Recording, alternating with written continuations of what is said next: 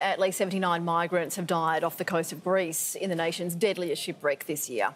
Rescue crews plucked more than 100 survivors from the waters nearly 80 kilometres off the coast from the country's southern peninsula. Authorities say the vessel was overloaded with more than 500 people on board the 30 metre long vessel. The boat was reportedly on its way to Italy from Libya. They appeared distressed, but who wouldn't be distressed after a shipwreck? We hope more survivors will be found. Aid workers have criticised the Coast Guard for waiting hours to send help after a distress signal was sent out.